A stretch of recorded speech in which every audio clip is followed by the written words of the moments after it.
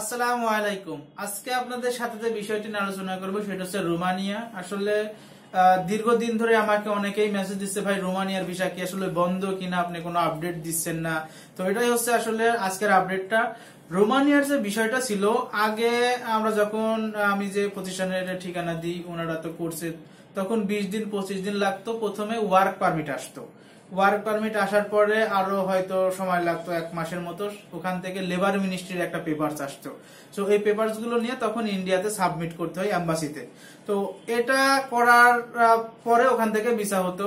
অনেকে গেলেও হতো, না গেলেও করা যেত। তো এই প্রসেসিংটা আসলে আগে ছিল। তো, যখন ভিসাটা বাংলাদেশিদের দিছে হিউজ পরিমাণ, দেওয়ার পরে কি হয়েছে? ওখানে গেছে মানুষ। যাওয়ার পরে কিন্তু আসলে অনেকেই কোম্পানিতে জয়েন করেনি। অনেকে ওই দেশে নাই যাওয়ার পরে ওখান থেকে ফ্রান্স বা জার্মানি, ইটালিতে চলে গিয়েছে।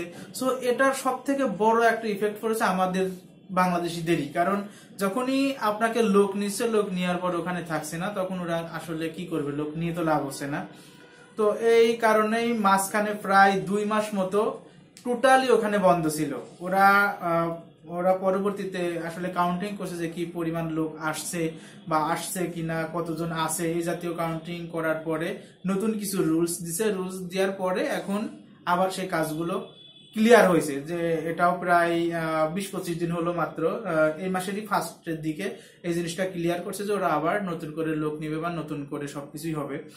তো এটা যে চেঞ্জটা আনছে, সেটা হচ্ছে আগে যেমন ওয়ার্ক পারমিটটা দিত, এখন কিন্তু ওয়ার্ক পারমিট না। এখন সরাসরি আপনার work permit plus labour ministry এই দুইটা সরাসরি করে রেডি করে ওটা ইন্ডিয়ান এম্বাসিতে পাঠাবে, ওখান থেকে ভিসা নিয়ে নেবে। একদম সহজ।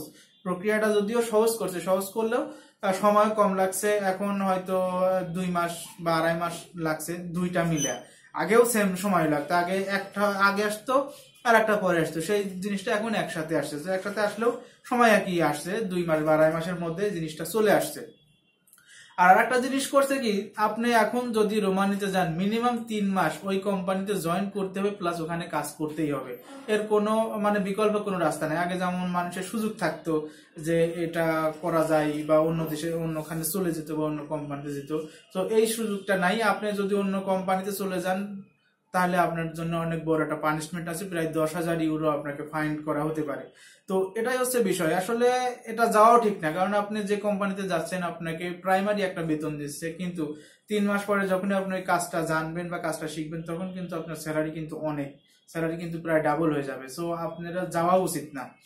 কারণ আপনাদের কাজের জন্য নিচে আপনারা যদি কাজ না করেন যার কারণে বাংলাদেশিদের বন্ধ করে দিয়েছিল। বাট এই জিনিসটা আবার এখন ঠিক আছে, এখন আর কোনো সমস্যা নাই এবং ভিসার সাকসেস রেট সব ঠিক আছে। ভিসার সম্ভাবনা এখন পর্যন্ত কোনো রিফিউজ নাই। ভিসা বড় কোম্পানি হলে কোনো প্রকার কোনো সমস্যা নাই। আমাদের কোম্পানি পুরো সবই বড় কোম্পানি তো এটা আপনাদের আমি আশ্বস্ত করতে চাই, যারা যে এজেন্সির কাছে দিচ্ছেন না কেন, হয়তো দুই মাস বলেন বা তিন মাস বলেন, তারা হয়তো পারছে না। আসলে দোষটা অ্যাকচুয়ালি কোনো এজেন্সি বা তাদেরও না। কারণ যদি বন্ধ থাকে রোমানিয়া থেকে, সেক্ষেত্রে কোনো এজেন্সির আসলে কিছু করার থাকে না, যদি গুড়া থেকেই বন্ধ থাকে।